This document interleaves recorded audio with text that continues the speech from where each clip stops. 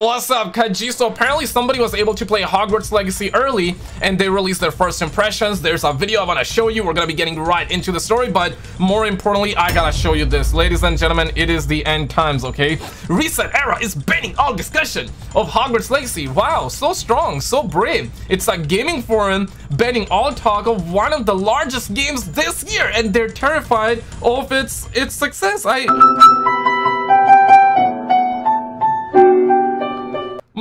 Like, I just cannot even fucking compute this one, ladies and gentlemen, because we got paragraphs written upon. I'll still get into the video in just a Bruh. second, so stick around for that one. But I want to know your thoughts. Man came out with a bumbleclad by saying, I voted with my wallet. Bumbleclad! And then there's like people out there cheering. There are people out there saying, woke Wokus era weird. We're living it through end times, ladies and gentlemen. Right now, it's like politics. It's the woke agenda. It's like, bruh, like humanity man this is a massive major downfall of humanity. But you know what we're gonna do? We're definitely gonna be getting this game ladies and gentlemen. We're gonna be streaming day one. One like on the video equal 10 slaps to the people that are trying to cancel this game. Share it around because they're really trying to stop this game over politics. Let's roll. Let's so this, this is a warning that if you are a fan of this game now is the time to be prepared because brutally honest opinions is what we are about to see very very soon. Before we get into that i need to pump the brakes because in in all reality, in all reality, we're not gonna have brutally honest opinions and it's gonna be really really hard. Let's just say hypothetically like you're somebody that is not about that woke agenda you're not motivated by the politics you're like okay I, I just genuinely want to know is this gonna be a good game? It's gonna be really hard to know whether it's gonna be a great game. Listen I'm biased I'm a fan of Harry Potter. I like what, what I'm seeing on top they're trying to like cancel this game they're trying to like boycott this game. So that motivates me even more to buy the game right? That motivates me even more to get into the game.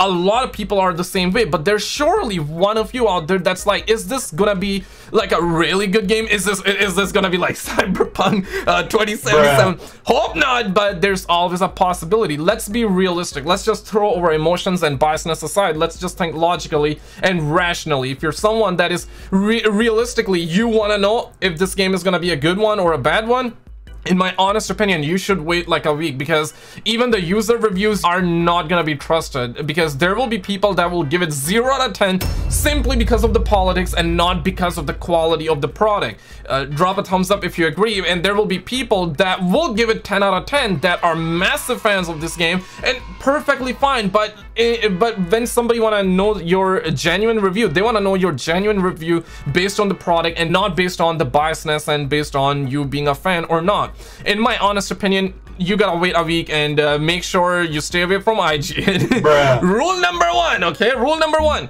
stay away from IGN reviews. Rule number two, stay away from IGN reviews and uh, because they're motivated by politics and not the quality of the product. On demos seem to have rolled out to selected people. Now on top of that, how will Dumbledore being sorted into the Gryffindor house in 1892 affect the game and will there be a curfew? So let's dive straight into this. What's so first of all, the hands-on demo reviews are coming very very soon because the Potter Collector on Instagram just confirmed that he has played Hogwarts Legacy for the first time. Now you could argue the fact that some of these reviews could potentially be biased because, yep. you know, they've been brought out to the location and so forth, but one thing you need to take into account is it's not just content creators, it's the big media outlets as well that have very, very likely already played this game. And you typically know how that goes down. And it gets very And, and the, the craziest part here is that ResetEra, gaming forum, banning all of that. I just cannot even compute that. So, so, brutally honest opinions is what you should expect, but at the same time, it's a discussion that we had not too long ago, of course, where we know that things could potentially just get very toxic in a nutshell. So now is the time to just basically prepare yourself for that and not let that affect your experience, of course, in this game. Now, Dumbledore was sorted into Gryffindor House in 1892, so how will it actually impact the story if we arrive at Hogwarts between 1890 Man. and 18 1992, of course. So that was posted on Reddit, and somebody did. I, I recently started watching the the movies once again, man, and uh, I'm a massive fan, right? Like I, I binge watched those movies uh, a million times already. I'm doing it again. I really hope I get to watch all all the movies before the game comes out, so I'm prepared. Man, I'm genuinely excited for this game. I genuinely am excited because the, la the last time when I was this excited, uh, I was excited for Cyberpunk, but I really hope it's not like the Hogwarts Legacy 2077, though that would genuinely be sad, okay? Because the gaming industry is so dry right now. Politics, uh, politics aside, woke agenda aside, I just want a quality game. I just want a quality product.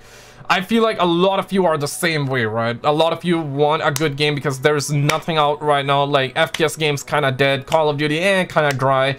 I'm a big fan of Call of Duty, but eh, they're also pushing the their agenda. They're also pushing cheating. There's a lot of wokeism and shiza like that. No content. It's there are more flags in that game than maps. Like I, I, I cannot even believe that, right? So I, I genuinely hope this game bangs, and not for not to prove people wrong, but to genuinely make the fans happy that are part of the Harry Potter that that are into Harry Potter that love the franchise okay? I I, I really hope this game bangs for the right reasons and not for the the you, you know what I mean right? respond with a very good I guess you could say answer to this where they said we arrive at Hogwarts on September 1st 1890 our fifth year at Hogwarts will end sometime in May June in 1891 so we will not see Dumbledore at all.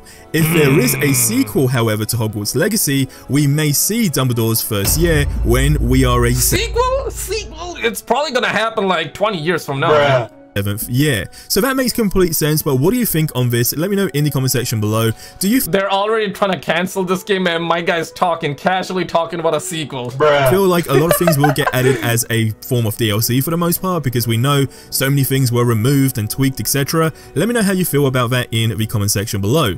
Now, will this game have curfew? So somebody posted a list on Reddit on the top things they hope to see in this game, and one of them was curfew and basically prefects slash teachers teachers, etc., busting you if you get caught roaming school at night. Another one was more dark things and creatures out at night in the countryside slash woods, and how it's ultimately, you know, safer in the day and more dangerous at night. The third thing was the opportunity to go into the Chamber of Secrets.